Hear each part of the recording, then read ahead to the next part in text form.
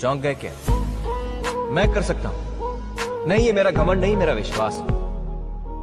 विश्वास और घमंड में बहुत कम फ़र्क है। मैं कर सकता हूँ, ये मेरा विश्वास है। सिर्फ़ मैं ही कर सकता हूँ, ये मेरा घमंड। विश्वास की हमें ज़रूरत है, इसे अपने पास रखिए। और घमंड, अगर ऑफ़िस के दरवाजे के बाहर छोड़कर आएँगे तो मेहरबानी होगी।